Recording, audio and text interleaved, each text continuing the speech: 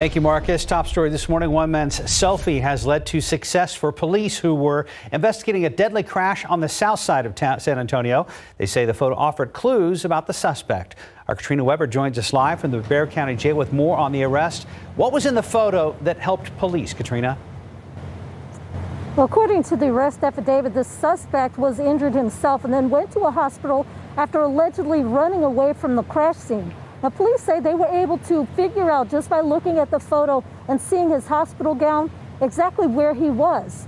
They ended up arresting 41 year old Orlando Martinez yesterday afternoon on multiple charges, including racing on a highway causing death. Police believe that he and the victim had been racing on Southwest Loop 410 near Palo Alto Road Monday night. They lost control when they crashed into a third biker. The victim died at the scene. The medical examiner has identified him as 27 year old Mario Garcia. Police say although Martinez was injured, he did manage to run away before officers arrived. And it seems that, they, that he went to a hospital and then took photos of his injuries while he was being treated. Now, police say Martinez sent those photos to a friend and then the friend forwarded them to police. That's how they were able to figure things out.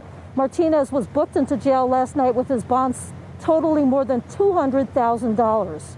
Reporting live from the Bexar County Jail, Katrina Weber, KSAT 12 News.